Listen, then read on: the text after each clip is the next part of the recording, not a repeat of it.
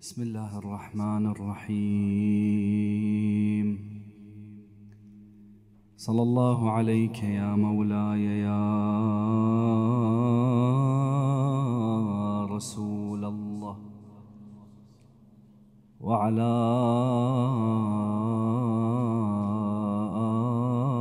آلك المظلومين لعن الله الظالمين لكم من الأولين والآخرين إلى قيام يوم الدين. صلى الله عليك يا مولاي يا أبا عبد الله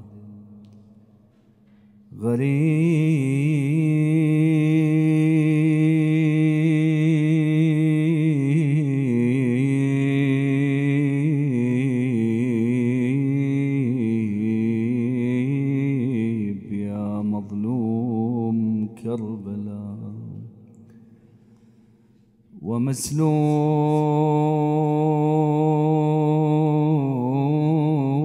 العمامة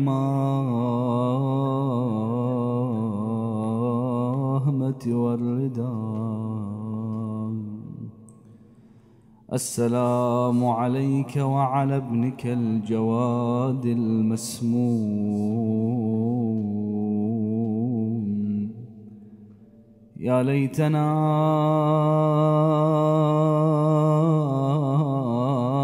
كنا معكم سادتي فنفوز فوزا عظيما. عظم الله لك الأجر يا مولاي يا صاحب الزمان بجدك الجواد إذا شئت النجاة يوم المعاد جد بدمع على الإمام الجوادي لم أنسه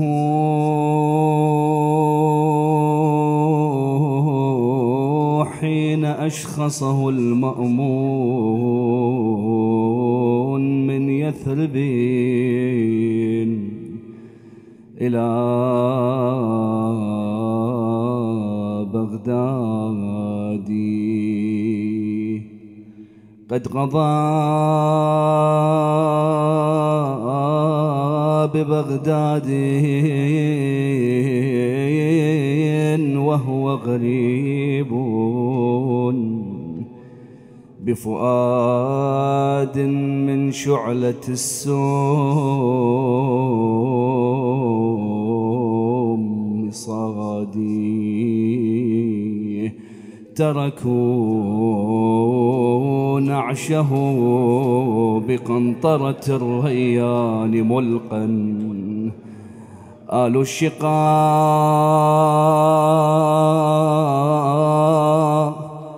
والعناد.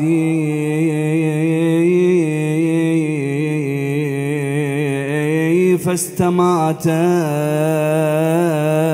أشياعه نحو حمل النعش كي لا يبقى رهين الوهاد وسرى فيهم الحماس إلى أن حملوه رفعا على الأجياد ما بقي مثل جده الصبط عار يا يا يا الجسم تعدو على قراه العوايا.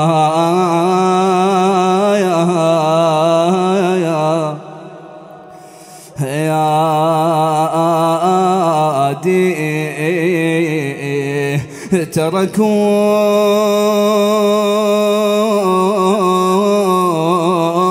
جسمه ثلاثا أيوا حسينا.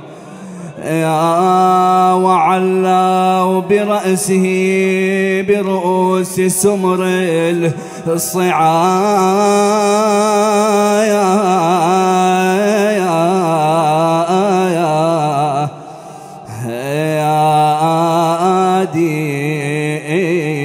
وين الأعظمها وسرى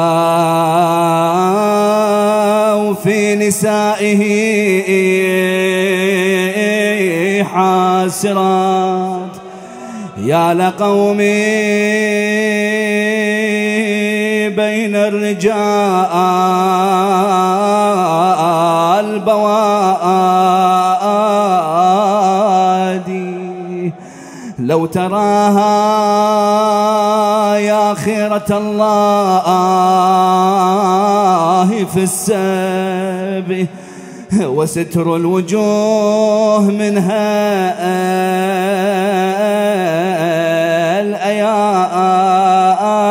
الأيادي. يا عيني يا عيني يا عيني يا عيني على الجواد بجب دمع دم يا قلبي على ابو الهادي تلجم شبابي. وصايم ويفطر على السم. يا صاحب الزمان أنت المعزى يا بقية الله. يا أبو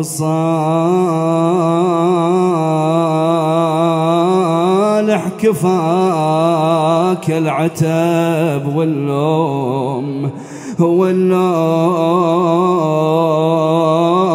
تظل صابر على أخذ الثار لليوم. ولياه المنهلك ما مات مظلوم يوم ذبوح يوم مجتول بالسم.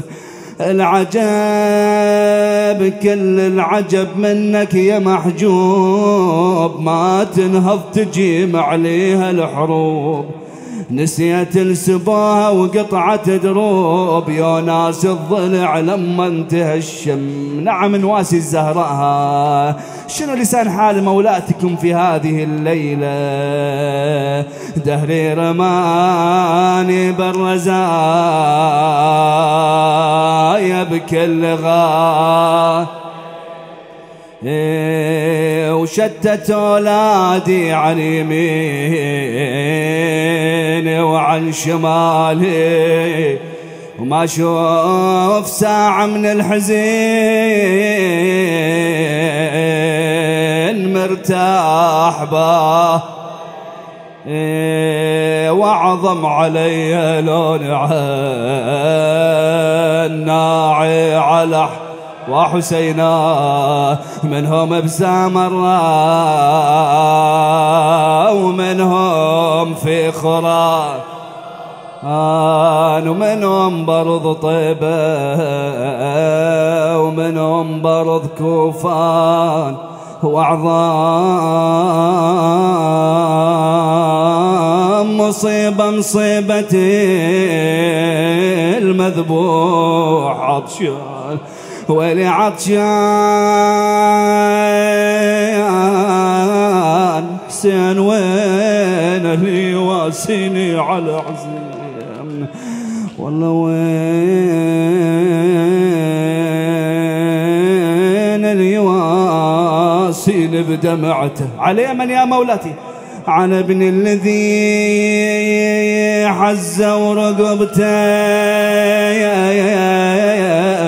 وتمت ثلاثة أيام جثة جثة. أويلاه يا ابن الما حضرته يا يا ويلاه يا ابن الما يا يا حضرت لا حول ولا قوة إلا بالله. علي العظيم إنا لله وإنا إليه راجعون. قال مولانا أبو الحسن الرضا صلوات الله عليه. في حق ولده الجواد قد ولد لي شبيه موسى بن عمران فالق البحار. وشبيه عيسى بن مريم قدست أم ولدت صدق مولانا الرضا. تعجيلا لفرج مولانا صاحب العصر والزمان ولشمولنا بخفي ألطافه وعناياته ولقضاء الحوائج ولشفاء المرضى. ارفعوا أصواتكم بالصلاة على محمد وآل محمد.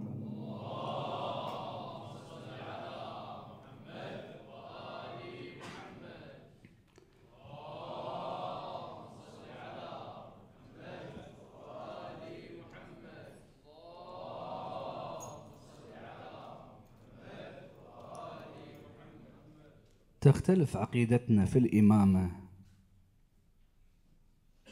عن بقية فرق المسلمين. فلا نرى بأن الإمام أقل شأنا ومنزلة من الأنبياء والرسل بل هناك جملة من الأعلام أشاروا بأدلة قطعية بأن الأئمة ولما نقول الأئمة ما أخص أهل الكساء الخمسة بل كل الأئمة أفضل من كل الأنبياء عدا المصطفى محمد.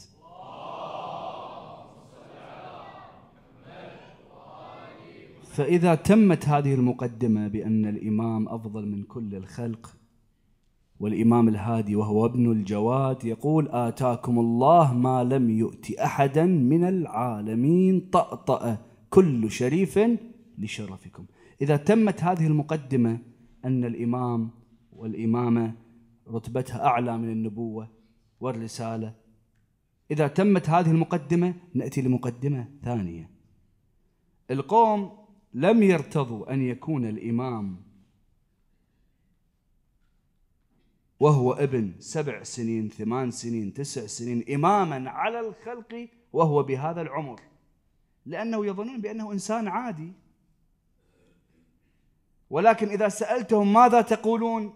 في عيسى على نبينا وآله وعليه السلام في يحيى بن زكريا على نبينا وآله على على على يحيى أفضل الصلاة والسلام. ماذا تقولون؟ يقول لا بأس هذا نبي وهذا إمام. شوف يعني عنده مفارقة. هاي المفارقة هي اللي سببت الخلل عنده لأنه من الواضح الله سبحانه وتعالى يقول وآتيناه الحكمة صبية من هو هذا؟ يحيى بن زكريا.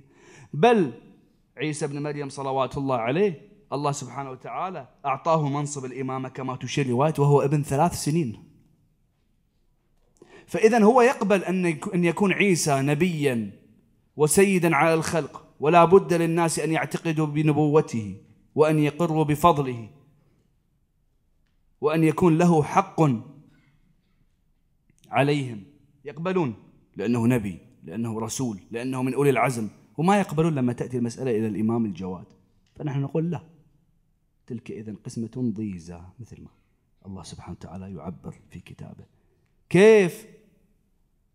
لذا يوم الأيام كان واحد من أصحاب الأمة ينظر إلى الإمام لكي يصف الإمام سلام الله عليه للشيعة. هو توقف احتار. هذا العمر وهذا الصغر. الإمام شو الأجابة الإمام قال أن الله احتج بالإمامة بمثل ما احتج بالنبوة. يعني كما أن الدليل عندك أنت بأن النبي يجوز أن يكون نبيا وهو ابن سنين أقل من عشر سنين.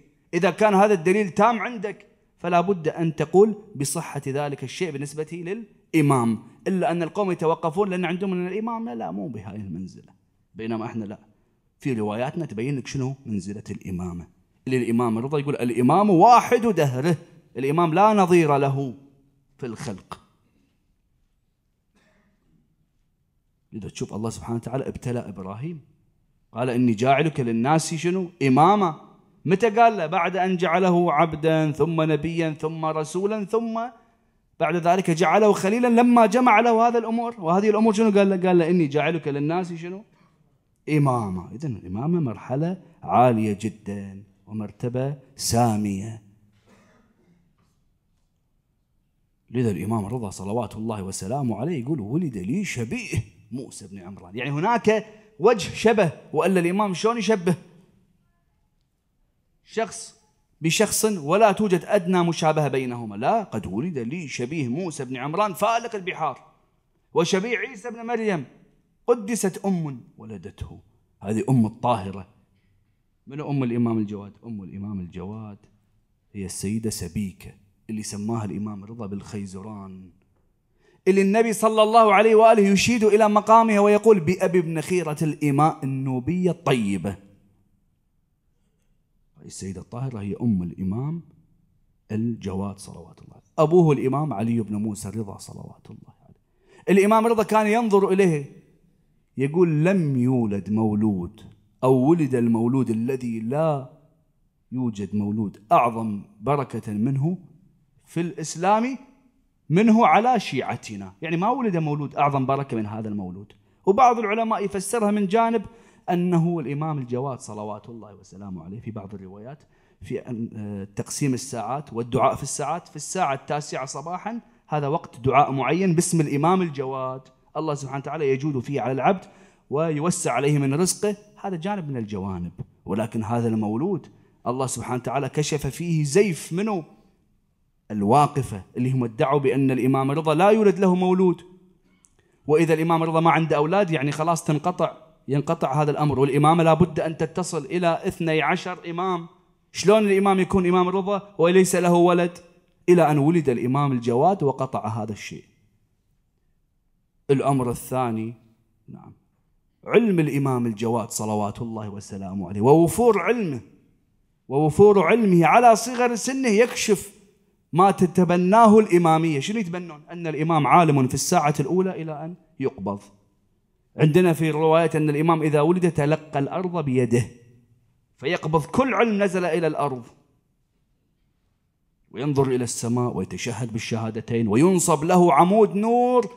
فيه أعمال الخلائق. مو أي إنسان هذا. هذا حجة الله في الأرض. ابن سبع ثمان سنوات صحيح ولكن به يمسك الله السماء أن تقع على الأرض. به يمسك الأرض من أن تميد بأهلها. به ينزل ينشر الرحمة. به ينزل الغيث. به يخرج بركات الأرض. وهو ابن سبع ثمان سنوات. هذا الحجة به يمسك الله الأرض من أن تسيخ بأهلها. الإمام الجواد على صغر سنه كما ينقل الكليني جاءه أهل النواحي. يسألونه في مسائل. يقول فسئل الإمام الجواد ثلاث في مجلس واحد ثلاثين ألف مسألة فأجاب عنها. طبعا واحد يقول شلون ثلاثين ألف مسألة؟ خب في أجوبة. يقول له نعم لا. مرة الإمام يجاوب عندنا في رواية يجاوب السائل قبل أن يسأل. حتى الإمام يقول له لا بل تقصر. فيسألون السائل شنو أنت سألته يقول لا ما سألته. ولكن بغيت أقول أن أنا قبطان أنا شغلي في البحر. ملاح أنا شغلي في البحر. فالإمام عرف بأن صلاتي هل هي قصر أم تمام؟ فالإمام قال له مباشرة مثلا أجابه بالسؤال. أجابه على حسب سؤاله. فيمكن للإمام أن يجيب عن ثلاثين ألف مسألة. ثم قال في مجلس واحد. المجلس الواحد يعني لم يتعدد المجلس. في مجلس واحد خليونهم أكثر من يوم يسألون الإمام في نفس المجلس. هذا جواب وفي عدة أجوبة. لما أراد المأمون المأمون انفضح قتل الإمام الرضا عليه السلام فأراد أن يلطخ هاي الصورة الملطخة أن يزينها. إيش قال لهم؟ قال لهم أنا بزوج أم الفضل ابنتي. لمن؟ للمأمون. قالوا إحنا ما خلصنا من الرضا كنت مخليه ولي عهد. وكانت الخلافة سوف تذهب من أيدينا وترجع لبني هاشم. والآن تأتي بولده. وماذا يفقه هذا الطفل الصغير؟ ما يعي هذا؟ قال ها, ها أنتم تقولون ما يعي. أنا أعرف هذا من أهل أي بيت. خلاص. عندكم مسائل؟ اسألوه. جيء للإمام صلوات الله عليه بمنه. بيحيى بن أكثم. التفت إلى المأمون قال هل ترضى أن أسأله أو هل تسمح لي بأن أسأله قال ذلك له سله. فالإمام قال يقول الإمام ضعه بين بين مسورتين مثل جلسة خاصة ويم المأمون. فقال سل. سأل هو مسألة أنتم يمكن مر عليكم. فسأله ما تقول في محرم قتل صيدا؟ تدري؟ إن شاء الله الشباب اللي يروحون الحج في المستقبل. أول ما يقول لبيك اللهم لبيك ينعقد الإحرام. إذا انعقد الإحرام في شيء يسمونه تروك الإحرام أشياء ما يصير تسويها. منها الصيد ممنوع تصيد فهذا يسأل الإمام يقول له في محرم لبس الإحرام وقتل صيدا شنو حكمه؟ هو افتكر المسألة هكذا. ليس لها أي فرع. فالإمام قال له آه. قتله في حل أم في حرم؟ يعني داخل مكة حدود مكة أم خارج مكة؟ في حل أم في حرم؟ قتله عمدا أو خطأ؟ عالما كان المحرم أم جاهلا؟ كل هذه لها تفاصيل. زي العالم يختلف حكمه عن الجاهل. عمدا يختلف حكمه عن شنو؟ خطأ. حرا كان المحرم أم عبدا؟ الحر له حكم. صغيرا كان أم كبيرا مبتدئا كان أو معيدا. من ذوات الطير كان الصيد أم من غيرها من صغارها أم من كبارها. أو من صغار الصيد أو كباره على حسب النص.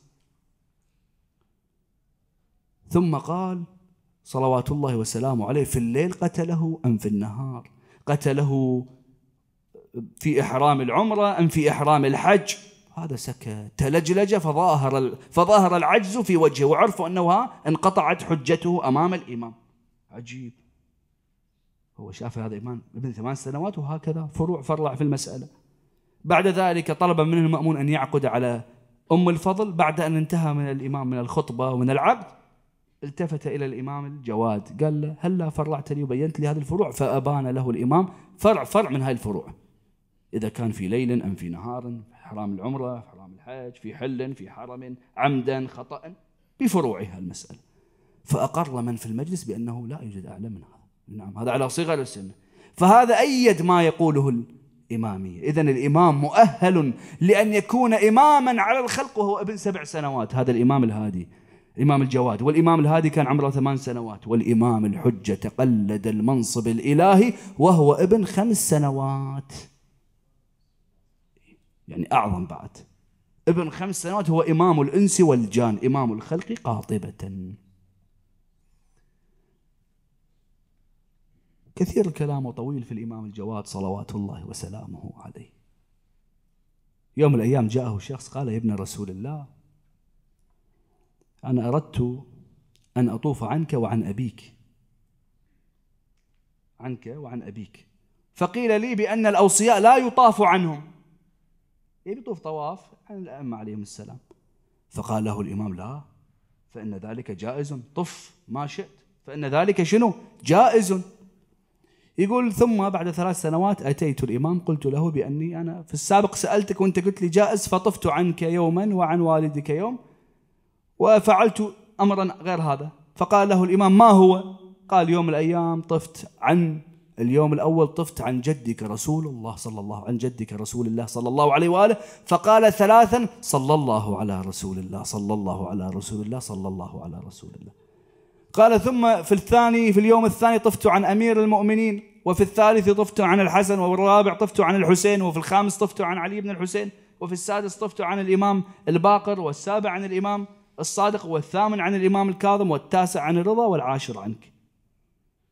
قال وربما طفت عن فاطمة وربما لم أطف. فقال أكثر من ذلك. الإمام أمره بأن يكثر من ذلك. يعني في أعمال تستطيع أن تتقرب فيها اليوم أنت إلى إمامك الحجة صلوات الله عليه. تروح تزور الحسين عليه السلام. قصدك من يوم تخرج من بيتك أن ترى أنا رايح للدعاء للإمام تحت قبة جده الحسين. شوف العمل شلون جميل. أبي أتصدق حتى أدفع السوء. لما نشوف الإمام يقول عادي سووا أعمال نيابة عنا ما في مشكلة. واللي بيروح الحج إن شاء الله أيضا يذكر الإمام صلوات الله وسلامه عليه. نعم إلى أن هلك المأمون الإمام رجع إلى المدينة بعد ذلك جاء المعتصم وسمع وإذا بصيت الإمام الجوادي قد ذاع بين الناس. الناس كلهم تفتخر بالإمام الجواد صلوات الله وسلامه عليه. وهذا الأمر كان يؤذي السلطة. ليش؟ لأنه هذا الإمام صلوات الله عليه على صغر سنه الناس يقولون بإمامته. والكل يذعن له. يوم من الأيام طبعا أشخص الإمام الجواد مرة أخرى من المدينة إلى بغداد. يوم من الأيام دخل عنده الفقهاء. ابن أبي داود وغيره من فقهاء فجاءهم سارق. قال أنا سرقت فطهرني. فسألهم شنو نصنع فيه؟ من وين نقطع يده؟ هاي القرآن عندكم وأنتم فقهاء. إحنا كلامنا ناخذه من القرآن ومن رسول الله صلى الله عليه وآله. فسأل هذا ابن أبي داود قال شو تقول؟ قال والله نقطع. كف. وجاب له آية قرآنية. وجاب الثاني قال المرافق وجابوا الآية القرآنية. فالتفت إلى الإمام الجواد. واحد قال من الكرسوع واحد قال من المرفق واحد قال سأل الإمام الجواد الإمام أبى أن يجاوب لأنه راح يصير حساسية. إذا الإمام جاوب صح وهو أصغرهم. راح تصير ضغينة وحقد وكراهية. فأصر على الإمام فقال الإمام تقطع فواصل هذا تقطع بس هذه. فواصل الأصابع أول شيء. قال شنو الدليل؟ قال مو النبي صلى الله عليه وآله ألزم أمته بالسجود على المساجد شنو؟ السبعة الجبهة واليدين والركبتين وقدمين اللي هو الإبهامين. سبعة. فأنت إذا قطعت إيده بشنو يسجد هذا؟ وأن المساجد لمن؟ لله. فعلم بأن الإمام. هذا ابن أبي داود رجع وجهه بعد صار أسود. وأيام تعبان نفسيا. ليش؟ والله شلون الجواد جاوب وعبر عن الإمام تعبير غير جيد. قال من هذا الفلان. ما راح أذكر هذا التعبير. ثم رجع بعد أربعة أيام إلى المعتصم وقال له شلون أنت؟ أنا بغيت أنصحك نصيحة. هذا هذا الإمام وهذا الشخص الناس شطر هذه الأمة يقولون بإمامته. وأنت اليوم خليت أكدت لهم هذا المعنى بأنه أفقه الناس. قال أنا ماذا صنعت؟ ثم بعد ذلك فكر في اغتيال وقتل الإمام الجواد. أم الفضل كانت زوجة الإمام هي بنت المأمون. تدري أن الإمام يميل إلى منه إلى أم الإمام الهادي. وتدري النساء وغيرتهم أيضا. ففكر شلون يتخلص من الإمام الجواد؟ هناك عدة روايات. هل هو قتله عنده في الدار أو أمر ابنة آه، أخيه المأمون أن تدس السم؟ المهم صار ما صار. قرروا بأن يفتكوا بالإمام الجواد صلوات الله عليه. والإمام شاب. الإمام ولد سنة 195 قبض سنة 220 يعني عمره 25 سنة. وتدري إمامك عادة شو يسوي في النهار؟ يصوم النهار. وبعد ويقوم الليل. واللي يصوم النهار يحتاج إلى طعام يأكله. صحيح؟ فما بالك بمن كان إفطاره السم. يا صاحب الزمان هاي مصائبكم. رزاياكم يا آل بيت محمد. أغص لذكراهن بالمنهل العذب. عمل لعيون لا تفيض دموعها. وقد فاضت دماءكم على الترب وتعسا لقلب لا يمزقه الأسى. عليكم وقد مزقتكم بنو حرب. أي نعم آجركم الله إلى أن قرروا أن يدسوا لإمامنا سما نقيعا. كي نعم فجلبوا للإمام سما نقيعا. وضعته في العنب. الإمام الجواد غريب في بغداد وأهل بيته في المدينة. لا ناصر عنده ولا معين وابن الإمام الهادي أيضا في المدينة وصغير سبع ثمان سنوات. نعم فبقي الإمام في بغداد. نعم إلى أن دست إلى إمامكم السم. تناول الإمام من ذلك السم أحس في السم في جوفه. نعم أخذت السموم تتفاعل في بدنه. تدري من حرارة السم شو يصير بالإمام؟ يقوم ويجلس يرفع رجلا وينزل أخرى يبسط رجلا ويبسط ويمد أخرى. ينادي شي ينادي صلوات الله عليه؟ عظم الله لك الأجر يا مولاي يا صاحب الزمان. قضوها لك ما بين مذبوح.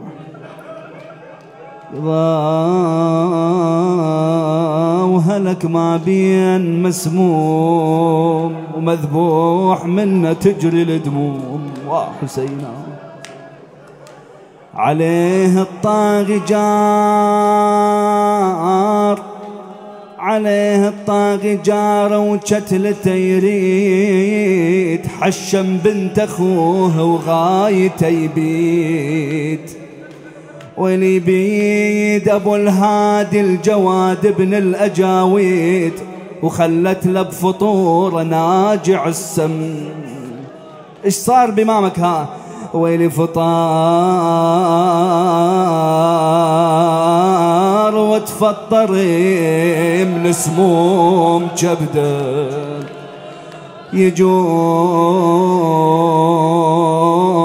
يجود ويندهي وما بقى عنده. وحيد في الدار غير أم الفضيل خلته وحده والباب اغلقت وعلى السطح تم. نعم صعد الإمام على السطح. ها يجود بنفسه. أغلقت عليه باب الدار. تدري اللي ها اللي سقي السم شنو يحتاج؟ ها يحتاج إلى شربة ماء لعله يبرد أحشاءه. ها ولكن أبت أن تقدم اللعين لإمامكم الماء. شربة ماء يراد يبلل أحشاء ممرودة جبته يردد الآن الإمام بهذه الحالة وين راح بالها تذكر عطش جده وسم لاذا الله أكبر ها؟ تذكر ذلك السهم ها؟ الذي أصاب جده الحسين والعطش ها؟ تذكر عطش جدة وسهم لاذا أي سهم ها؟ سهم العذال أخذ وياه دلال التخذم. ولي رغم صغره وشباب بعده كتلوه ممرودة جبت عداه عافو. وإمامه صحوة نادي وجواد. ثلاثة أيام فوق السطح خلوه اي نعم آجركم الله إلى أن سرت السموم في بدنه. صار؟ اشتاق الحبيب إلى حبيبه. ينادي وعطشا. اي نعم لما تمدد على الأرض ها ذكر جده الحسين وهو ممدد على رمضاء كربلاء. أجركم الله عرق جبينه سكن أنينه مدد يديه ورجليه. أين المنادي وإماما؟ أين المنادي وجوادا أجرك الله يا بقية الله؟ ثم فاضت روحه الطاهرة مسموما شهيدا. رحم الله من نادى وإمام. أين المنادي ومسموم نعم لما ظل الإمام على السطح الطير أشفقت على إمامكم نزلوا يظللون له بأجنحتهم ويلي يا ويلي تظلل بجنحها وحوله تحوم الله أكبر. نعم حتى الحيوانات حتى تشفق على إمامكم ها. تون وتشتكي تون وتشكي للواحد القيوم. الناس شافوا الطير على بيت الإمام. اجت الوادمة وشافت الجياد ومقضى نحبة وعليه الطير حوم. الله أكبر وإماما. اي نعم ثلاثة أيام بقي على رمضاء كربلاء. منو هذا؟ جد الحسين. الإمام الجواد صحيح أنه كان ممدد ولكن كان رأسه على بدنه. كان سالم البدن من كل جراحة. وأما الحسين كم طعنة رمح كم ضربة سيف؟ كم ضربة حجر؟ لم يبق موضع في بدنه إلا وفيه طعنة ضربة. إلى أن داس اللعين على صدره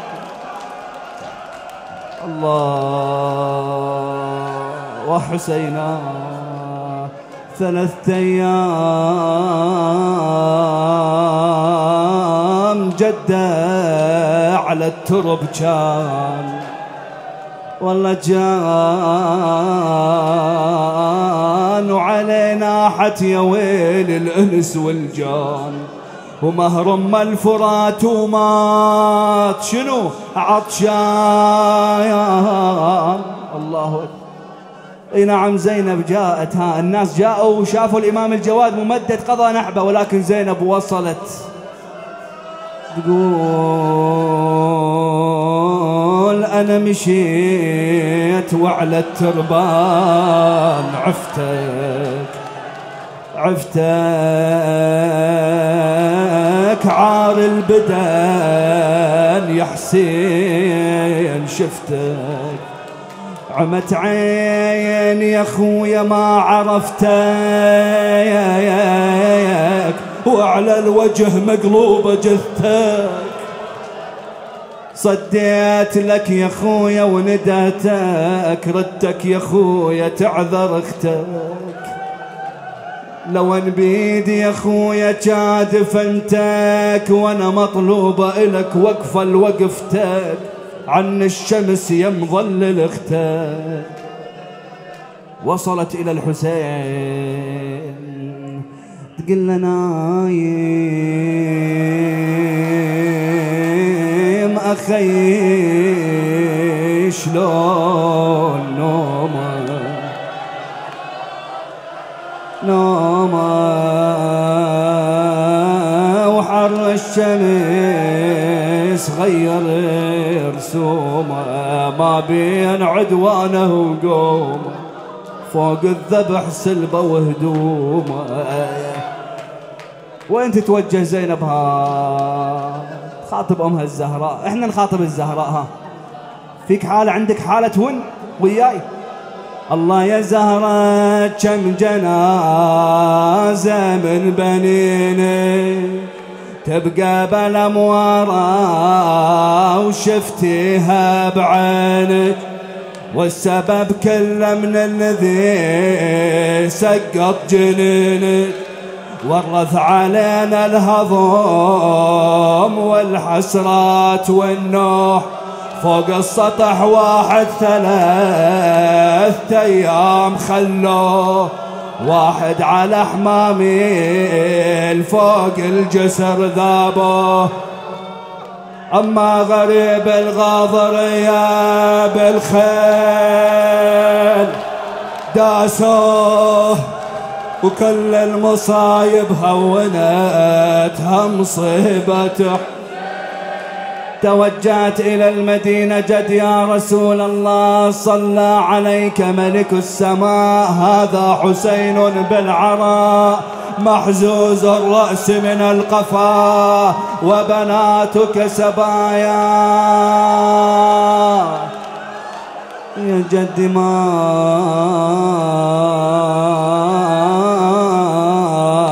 ما حد وقف دونك ولا نغار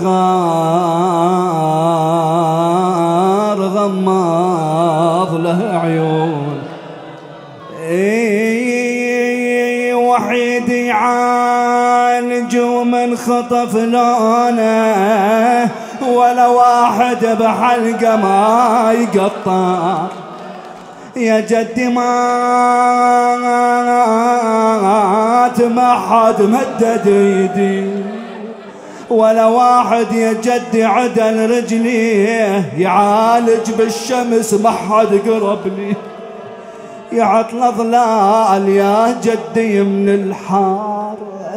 نعم أخذوا الإمام الجواد غسلوه كفنوه جاءوا به إلى قبره وضعوه في قبره بأبي هو وأمي أي نعم. يا مولاي يا أبا الحسن أيها الهادي ابن رسول الله أنت وضعت خد وادك على التراب. وضعت خد الجواد على التراب. الإمام الج... فما حال إمامنا زين العابدين؟ حال إمامنا. حينما رجع لوالي تلك الأجساد الطاهرة جاء به ها نظر إليه وإذا بالحسين مقطع ملقا على وجهه. أمر بأن يأتوا ببالي حتى يجمع أوصال الحسين. ثم رجع وين رجع مرة أخرى؟ إلى الكوفة تلقته العقيلة زينب. أين كنت عم يا علي؟ إيه قال عم للتو دفنت والدي الحسين. قالت له ثلاثة أيام لم يدفن ابن أمي ووالدي. نعم والله. إيه عم يا علي السجاد.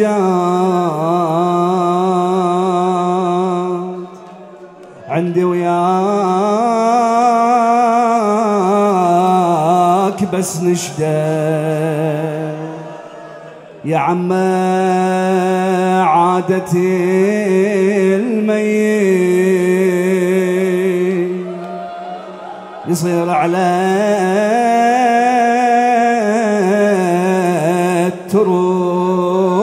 خده يا عم شلون تفنت اخويا حسين؟ يا عم وراس ما عنده. يقلها بدل راس حسين صار على الترب نحره يا صاحب الزمان. قلنا عم يا علي السجاد ضاج من الهضم صدري. انشدك عن أبو فاضل أخويا اللي كفى الخدري. شلعت السام من عينه دفنت وياك جفينا يا عم الجود جاوينا بيت الدعاء. آه والله لا.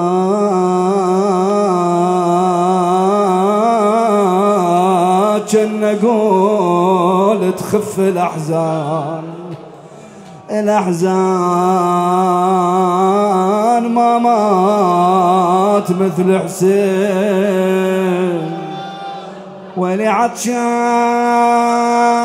ولا ظل ثلاثة أيام عريان ولا لعبت عليه الخيل. ميدان وين الأعظم ولا انسبت لعد الشام. نسوان ولا وقفت بضالة الديوان. وينظرون إلى بنات رسول الله القاصي والداني. بيت الدعاء تقول أخويا بس هاي ما كانت على البال. شنو يا زينب؟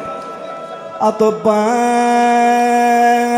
مجلسه بزنود الاحبال وراسك بالطشت وتشوف العيال بيد العود ويوسم المبسم. يا يا بيد العود ويوسم يا يا المبسم كلكم حافظينها. فاطم لا.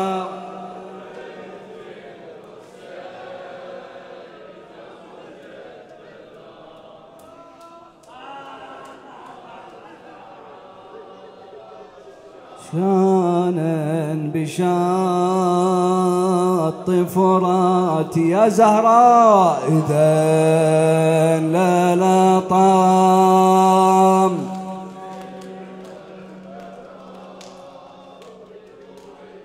وجريت دمع العين في الوجنات